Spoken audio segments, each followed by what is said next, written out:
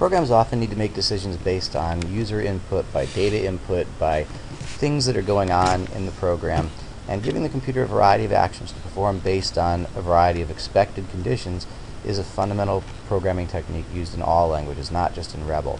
Uh, for example, users may select something from a list and the computer may have to respond by doing something. If the user selects something different from a list, the computer may have to respond with something different. Um, you know, uh, other things the computer may, for example, watch for an amount of time that's passed and then save uh, data to the hard drive. Here's an example. Um, typically what happens in a situation like this, this is called doing a conditional operation. If something happens, uh, or if, if, a certain situation exists, um, do a certain thing. And the way it works is uh, this first uh, conditional operation is called if. Um, that tells the interpreter, the Rebol interpreter, to, to do something if something uh, exists. If the time now, this is the way you write, this is the way you get from the interpreter the current time, is greater than 12 o'clock, is later than 12 o'clock, and Rebol will automatically know how to deal with times, money, that sort of thing. It's greater than 12 o'clock, then you do this block of actions, alert that it's afternoon. Um, and typically you'll, you'll, see mathematical operators to, to um, define how to, how to um, judge these conditions. If something is equal to, if it's greater than, less than, or not equal to um, a certain condition. We'll paste this in the interpreter. Um, if the time is after 12, um, it's going to alert us with an afternoon. Right now it's um, 941, so um, the computer didn't do anything. We can say, for example, here, I'm going to go back and change that. If the time is after 8, it'll us with it's afternoon. That really should be changed to um, after 8. There. It says it's after 8. Um, here's another example. It gets some um, info from the user using again a request text. And this is a refinement for title, which uh, puts in the in the title bar of that request text um, little GUI um, puts these words. How many calories have you eaten today? And you'll see that those words are surrounded instead of by quotes um, by braces. And those curly braces um, uh, can enclose multi-line text uh, text data, multi-line strings. That's very important, really. You see that all over the place. The data returned from that request text is converted to an in integer just to make sure that it's treated as an integer by Rebol. It's another data type that Rebol understands. And then it's assigned uh, the word daily dash that into Rebol, and it will get some calories from us. Uh, so I've eaten 3,000 calories today. Uh, and then we do a little conditional operation. If the daily calories is greater than 2,500, we're going to alert the user that they need to stop eating now. Um, since I already entered 3,000 as my daily calories, it's going to tell me I need to stop eating now. There are a variety of other types of uh, condi conditional operations. Um, one of the common ones, very often computers have to decide between, do between doing one of two things.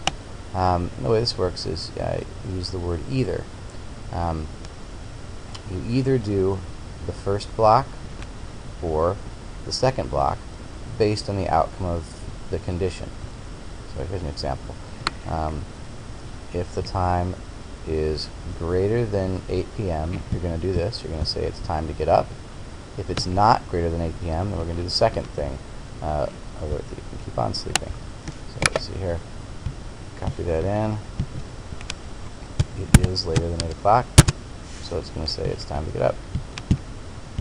So again, the way that either works is if the condition is true, then do the first thing. If it's not true, do the second thing. There's a little variation that lets you set the time, asks you what time you want to get up with a request text, converts that to a time value, and assigns it to the word wake up. Put that in. Ask us, say, 8. Converts that to a time value. And now it's going to do something. It's going to do the first thing if now time is later than the wake up time. It's going to say it's time to get up. And if it's not later than the time we put in, it'll say you can keep on sleeping.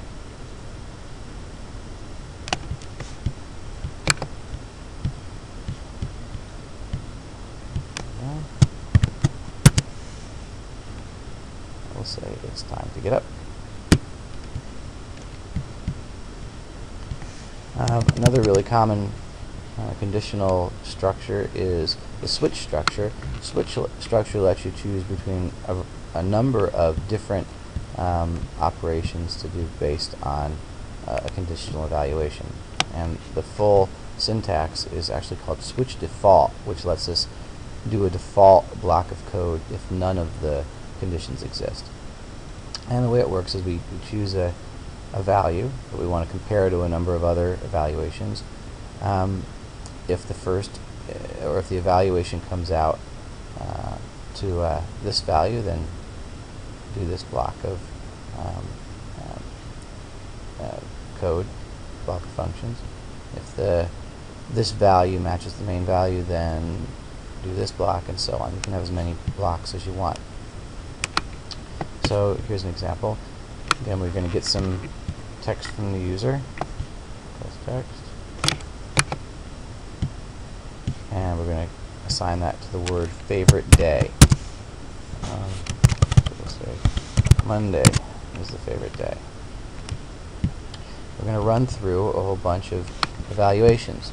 We're going to take that word, that assigned word now, favorite day, which now means Monday, and depending on what the user typed in, we're going to respond a certain way. If we typed in Monday, it's going to say Monday's the worst, uh, just the start of the week, and there's a variety of other things to, that the computer will respond to depending on what the user typed in.